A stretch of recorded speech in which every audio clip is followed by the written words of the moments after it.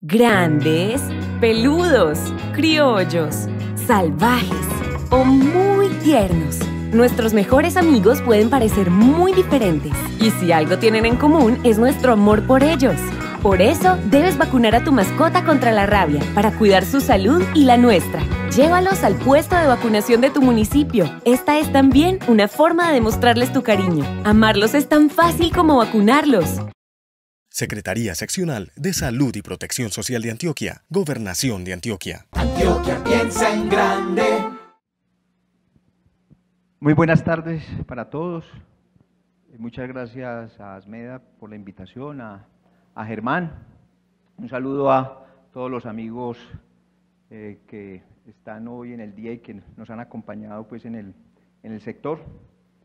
Eh, eh, el tema, tema de salud pública, posiblemente hablar de determinantes y ciudades saludables es un lugar común.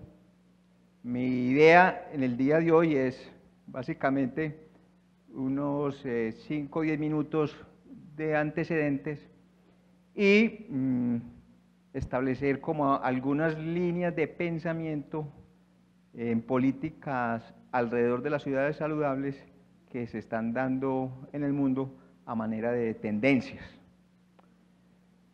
Eh, ciudades saludables es un movimiento que inicia en los países nórdicos, en Europa, eh, igualmente, al frente en Canadá, tuvieron pues toda una iniciativa, eh, básicamente con este propósito, eh, cómo mm, generamos políticas orientadas territorialmente que apunten a resolver problemas que afectan la salud.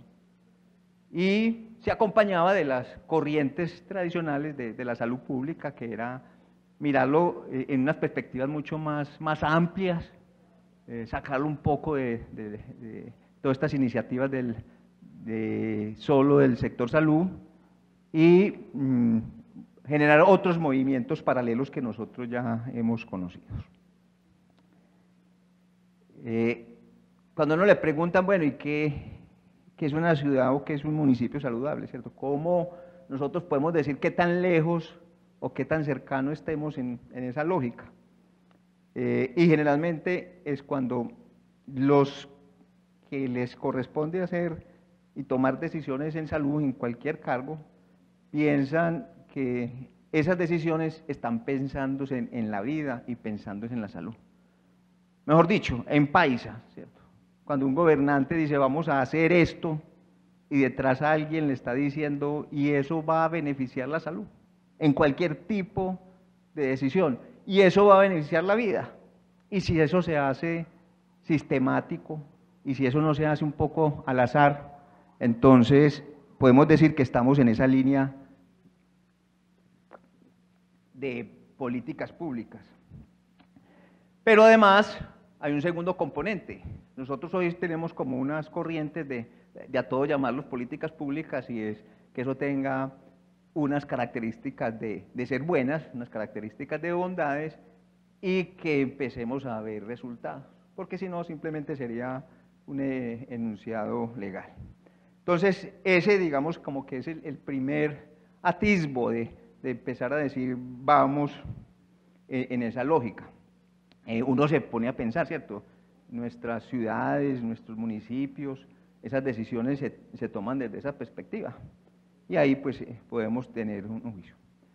El tema de ciudades saludables, esta es una diapositiva un poco cargada, eh, he estado acompañado de políticas internacionales, pues creo que aquí rememoramos un poquito todos los que hemos tenido las clases de salud pública y, no se nos olvida desde el informe de la LON, después cuando empezamos con Almata, y miren todas estas otras digamos, decisiones de política que mueven a las organizaciones internacionales, que mueven a los ministerios, que mueven a los agentes sanitarios en las ciudades y que de alguna manera acompañan estas iniciativas. En color rosado, específicamente, las que iniciamos lo que decíamos ahora en Canadá, en Toronto, y en el 1987, con más decisión, todos estos países hoy, eh, Finlandia, Noruega, eh, se dedicaron desde esa época, estamos hablando de hace 30 años, a pensar la forma de administración del Estado de una manera diferente y ahora vamos a ver algunas características, algunos elementos. Más cercano, tenemos, eh, en Bogotá hubo un momento un congreso importante, después eh, tuvimos algo en Medellín, nosotros no hemos estado ajenos, Colombia, a estos movimientos. Ya hubo el primer foro regional de salud urbana acá en México, después en Nueva York, después en, Medellín tuvimos una posibilidad y digamos la más reciente y grande a nivel de América Latina es Habitat 3, Quito, novena y la novena conferencia de, de Shanghái.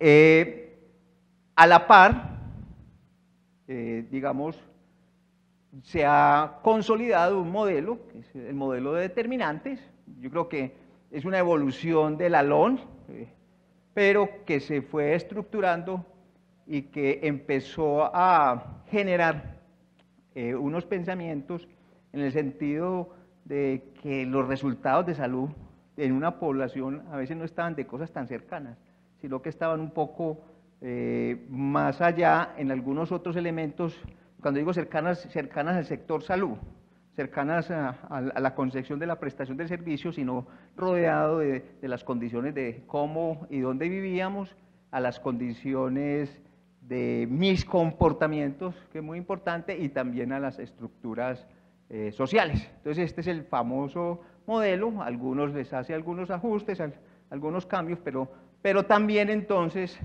si en la definición de políticas eh, de los movimientos de ciudad saludable. Iba acompañado a actuar eh, de la mejor manera en el territorio, y de alguna manera en perspectiva también de, ver que había gente con, con, diferencias y que esas diferencias generaban diferencias en los resultados en salud, entonces el modelo también ha venido, mm, digamos, alimentando lo de ciudades saludables. La pregunta es la misma, la pregunta es la misma, eh, desde que se inicia el movimiento, oiga, eh, ¿cierto? Nosotros vemos estos mapas que hoy se ven mucho más bonitos, eh, como lo llaman ahora estos mapas de calor, eh, ¿por qué esos que están azul tienen tan poquitas o sus tasas de, mortalidad infantil y en general todo en resultados son mucho más, eh, son mejores que los otros? Si al fin y al cabo tenemos los mismos cromosomas, somos los mismos seres humanos, de pronto hasta ciertas cosas podríamos tenerlas rápidamente, podríamos tener vacunas, pero al fin y al cabo el mapa no, no deja de ser generador de, pensar que ahí hay algún nivel de, injusticia. Y que en algo tan valioso como es la salud de las personas y la vida, pues eso es algo que la sociedad no puede tolerar y que todos debemos apuntarle. Entonces la respuesta también es qué podemos hacer por todas estas poblaciones en, en sus territorios. Esto a nivel mundial, pero cuando uno se ubica acá y miramos la ciudad de Medellín, eh, se amplifica o se representa eh, la misma situación, ¿cierto? Cuando uno ve los indicadores de dónde están las personas con las mayores complicaciones, dónde es que se enferman, dónde es que está el, el HIV, dónde es que está la sífilis congénita, dónde, y aquí podemos, nos presentan estos panoramas y nosotros no podemos quedarnos tranquilos. Ese entonces, digamos, es como uno de esos eh, elementos. Este simplemente para decirlo que eh, el fin de semana pasada eh, también el, movimiento tiene sus, picos, sus iniciativas, pero eso nunca ha muerto porque la pregunta es la misma. En Paipa, más de 150 alcaldes de América Latina se, reunieron a volver a revisar qué, se podía hacer. esto entonces, digamos, como, antecedentes. Para esta conferencia yo quise traer un poquito como 10 eh, dinámicas que pueden eh, dinamizar esta perspectiva de, las ciudades saludables. Y, esas dinámicas están enmarcadas porque se retoma de nuevo el ejercicio de las planeaciones de las ciudades en esa perspectiva. Si en la cabeza de estas personas está generar calidad de vida en función de, la salud, pues eh, estamos en el tono del mundo y sobre todo estos países pues, que les estaba comentando. Si en esas áreas de planificación de los municipios, se, por ejemplo, hay equipos de epidemiólogos y, están trabajando con los planificadores, están en, esa lógica, y hay países que están trabajando de esa misma mirada. Pero también, eh, si bien tenemos la mirada del territorio, dónde es que usted está y qué es lo que hay alrededor, que lo puede eh, afectar o no, hay algo que no se puede perder, que es el detalle humano. Y eso lo voy a explicar en la, última diapositiva. Viene el elemento de la urbanización, eh, que casi que nos lleva a pensar y a juntar. hablar de ciudades saludables y de salud urbana es lo mismo, aunque eso es un fenómeno un poco más de carácter migratorio. Y también hoy tenemos unos retos al 2030 que llamamos los Objetivos de Desarrollo Sostenible. ¿Cuáles se pueden empezar a hacer, digamos, esas 10 cosas es una, me, disculpan, es una diapositiva cargada y básicamente esta diapositiva lo que hace es integrar los determinantes, eh, pero desde, desde, el papel de las políticas, la entrada de la salud pública, la entrada de la epidemiología, la entrada de la clínica y las personas. Porque nosotros hemos tenido un problema que nos han fragmentado. Yo me ubico solo a este lado y a mí no me interesa sino atender. Si este, por ejemplo, es un modelo para una enfermedad cardiovascular, entonces yo solo me paro por aquí a ver. Primero, evitar las manifestaciones, pero de pronto soy capaz de entender las causas fisiológicas y fisiopatológicas y soy capaz de mirar qué hacemos con esta hipertensión, qué hacemos con este nivel de glicemia, le clasificamos en el estado, pero no sabemos que esa representación es de unas cosas que vienen mucho más atrás. Unos determinantes intermedios, como los clasifica el modelo, que llamamos la inactividad, el alcohol, pero esto tiene muchas cosas atrás. Y entonces ahora la tendencia es ser capaz de mirar todo eso integralmente y con algoritmos, con estadísticas, con una cantidad de estudios que se están viniendo, es lograr entender un poco eh, en determinados territorios cómo va a ser, cómo es y cómo va a ser el comportamiento. Predecir incluso esos perfiles epidemiológicos y adelantarnos. Y ahí es donde aparece la política. Si yo ya sé que en el 2025 las personas con diabetes que tienen 25 años, las personas que tienen diabetes con 50 años, saber que esas personas están ubicadas en, cada parte, pues va a ser mucho más fácil para el decisor de la política hacer algún tipo de, intervención. Entonces este es, el, digamos, el primer elemento en tendencias del mundo alrededor de integrar todo eso. La pregunta de nosotros, ¿qué tan divididos estamos en nuestra mente o qué tan eh, realmente en sintonía somos capaces de mirar modelos sistémicos. La, segunda tendencia, usted ya lo ha venido hablando, se llama los modelos de gobierno y, la palabra de la gobernanza. Eh, hoy nosotros intentamos hacer eso, vamos para allá. A propósito, eh, Finlandia hoy es reconocido como uno de los países con mejores niveles de educación en el, en el mundo. Y y cuando la gente le pregunta qué es lo que ha hecho Finlandia, realmente es su modelo de gobierno hacia una gobernanza. ¿Qué es eso? Sí, básicamente es que las políticas públicas dejan ser exclusividad del Estado eh, y empieza a pasarse a un lado donde los directamente involucrados son capaces de autoorganizarse, autogobernarse y decidir también sobre las políticas, ¿cierto? Los que a veces hemos tenido estos cargos, pero ¿cómo si nosotros somos los que somos capaces de decir esto? Y usted le ha preguntado, en Finlandia los que rigen el sistema educativo municipal son los padres de familia y son los que dicen cómo es que se debe educar y todas las condiciones y ellos están involucrados completamente y ese es el concepto, digamos, de la nueva gobernanza. Es el que lo público no es interés solo del Estado, sino que lo público es de interés de todo. El tercer componente digamos, también nos separamos un poquito. Nosotros somos muy formados en la estadística, en la epidemiología, en la carga de la enfermedad, de que se muere la gente, vamos a mirar cifras y todas las cosas, entonces vamos a montar un programa por lo que dice allá y lo primero es esto. Y la forma como la gente lee sus necesidades son de otra manera y, este es, por ejemplo, el, tema de, de, la calidad del aire. Si yo vamos a ver y, los problemas asociados a las infecciosas. Nosotros, ningún epidemiólogo ni ningún estadístico iba a detectar que en los próximos años esto le iba a importar a la gente. Pero la gente de un momento a otro dice, eso me interesa, y eso me interesa y me mueve, y nos coge y nos genera a generar, esto, creo que esta, ayer y en la mañana estuve en el área metropolitana, estuvo el doctor Prieto, creo, o, o alguien de allá, cómo hubo que generar todas unas reacciones y empezar a dar respuesta a la necesidad. Lo que quiero decir es que en el mundo también hay que entender con humildad que no solo lo que los técnicos estamos detectando es lo que se está necesitando, sino lo que la gente está percibiendo como sus verdaderas necesidades en salud. El cuarto componente, ya también lo vivimos, derivado del anterior, es un interés exagerado, sano, lógico, razonable por los ambientes sostenibles y los ambientes eh, saludables. Eh, la calidad del agua nos ha interesado, pero ahora mucho más. La calidad del aire. Si ya estamos controlando la calidad del aire, lo que viene es la calidad del ruido. Ya vamos a empezar a decir, no, es que aquí es una cantidad de ruido, no puedo, todas esas cosas. Y yo estoy casi seguro que en los próximos años va a haber unas políticas y vamos a tener que poner decibeles y vamos a trabajar porque la gente está diciendo, el ruido me está afectando. Uy, pero qué bueno los, espacios físicos. Y uno empieza a ver gimnasios y empieza a ver una cantidad de cosas y la gente valora la movilidad saludable, el control de los riesgos, el tratamiento de los desechos. Políticas como estas, el impuesto a las bolsas plásticas. En un momento otro uno dice, pero ¿qué pasó aquí?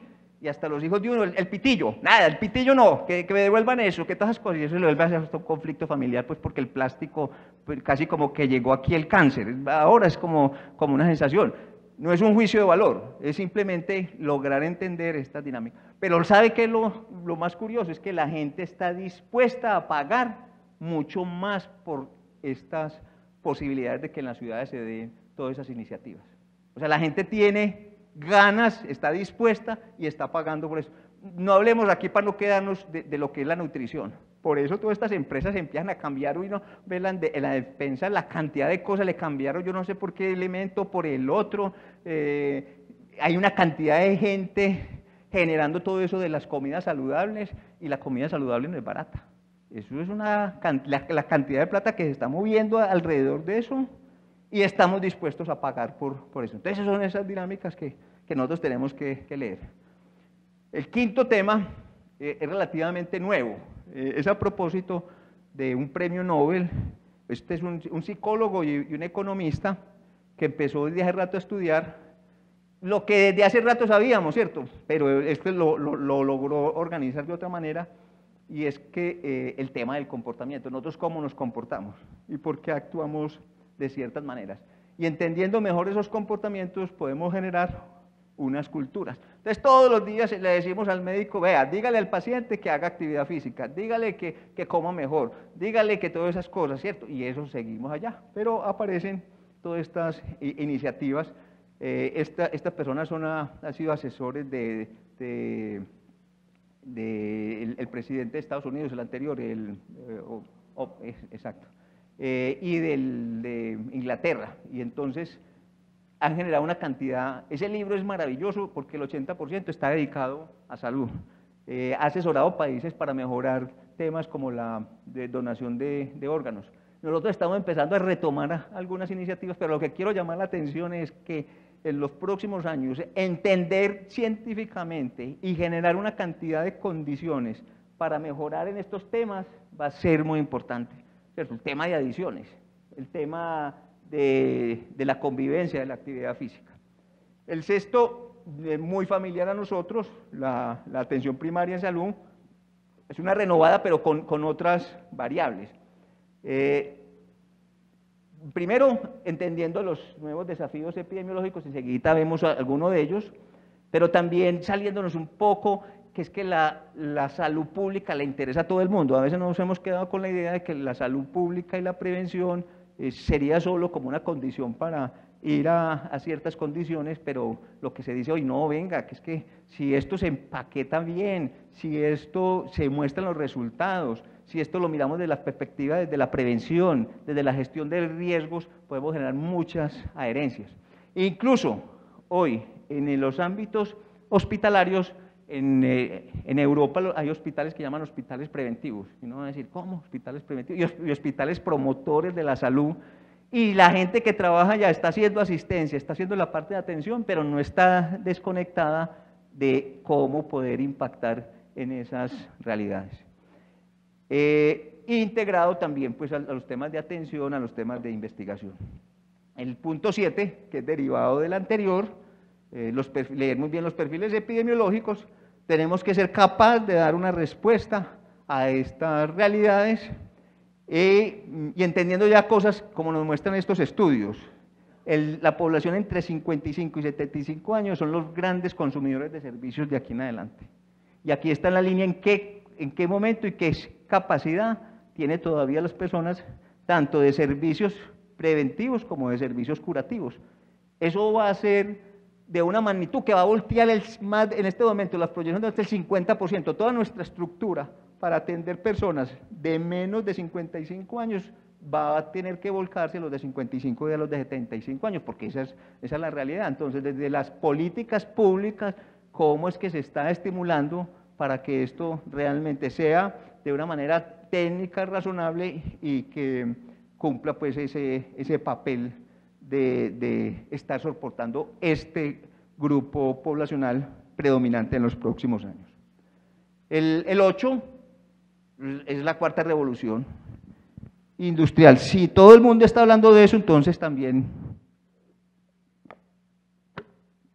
eh, el, sector salud y el sector de la salud pública. Y creo que con mucha, mucha posibilidad de, generar una cantidad de, impactos. Eh, cuando la gente, cierto, normalmente uno trata de buscar qué, por qué le pusimos la cuarta revolución. Y tiene que haber la tercera, la segunda. Una cuarta revolución, una revolución industrial se considera es cuando radicalmente todas las formas de prestar y producir servicios cambian. Toda la, toda la lógica. De un momento a otro, ¿cierto? Nosotros veníamos, eh, pues esto es historia, pero aparece el, vapor, aparece después el, el, motor eléctrico, la electrónica, después aparece el, mundo de los computadores, pero ahora se juntan unos elementos que, básicamente es el tema de la electrónica, el elemento digital, la informática, telecomunicaciones diseños, y todo eso ahí. No me pregunten a mí cómo es que funciona, pero los que ya han declarado es la forma como se prestarán servicios. De aquí en adelante cambia. Y entonces ya teníamos esas iniciativas, ¿cierto? Entonces, esos, temas de, los RAPI, esos temas de, los Uber, esos temas de la televisión, esos, temas de poder ver eh, el, ya el, electro, el, control de la presión arterial, eh, la, telemetría, viene la historia electrónica única de, uno, de cada eso ya, ahora eso ya es una realidad. Pero los potenciales que hay, ustedes entran a internet, curiosamente la semana pasada entré, y al azar, de lo que pueda haber en, en, potencial en salud pública, uno que no, pues, mejor dicho es que aquí nosotros tenemos que, no podemos luchar contra esto, es una, una realidad. Eh, el, sistema de prevención, llama, ya se está llamando sistemas de prevención de enfermedades digitales. Entonces, miramos todo, esa, todo ese componente de, de lo que va, va, a impactar y recientemente ya que lo estamos viendo en las casas de ustedes, lo que llamamos los asistentes virtuales, el Alexa, el Siri, el Cortana, ¿cierto? Que, que son máquinas que hablan con uno. Y entonces ellos los que le van a decir, usted ya fue a la cita de la hipertensión arterial. Ah, recuerde que esa cita está al día. Recuérdese que se va a tomar las pastillas. Recuérdese que usted es tal cosa. Mire, eh, el control, usted pasó por allí. hoy hay casas aquí que tienen esas domóticas y tienen eh, posibilidad de medir los signos vitales y es capaz de decir, se le está subiendo la presión. Mire, alertas para que cualquier cosa que pase ahí... hay una cosa está muy curiosa, no, aparece aquí en la inteligencia artificial, lo están utilizando en el mundo para las enfermedades mentales. Resulta que estos aparatos son capaces de medirle a usted cómo es su comportamiento normal emocional, su, estado de voz, su caminar. Y si usted empieza, ah, y empieza a caminar despacio, y ya tiene un antecedente que es una persona con problemas bipolares, todas cosas, le hace una alerta, le va a decir, está entrando en un estado de presión. O al contrario, está gritando todas esas cosas, este está en la fase hiperactiva, este está todas esas cosas, y todo eso lo vas a... Gracias, por, es que era por aprovechar también esto un poquito para los amigos allá que están roncando. Yo lo busqué, pero eso, bueno. Entonces, muchachos, esas cosas uno las ve allá, pero son de las, del, del, del, campo de la prevención, son del campo de la salud pública, del campo de la, de la organización. No podemos estar alejados a, a esas realidades. En los servicios, ¿cierto? Llámese centros de salud, llámese eh, hospitales, el tema de, hay una tendencia a renovar todo lo que tiene que ver la dignidad humana, las personas, esto parece romántico talegón, algunas cosas, pero eso es lo que está cambiando la diferencia en muchas partes, de tener e, e, esos componentes.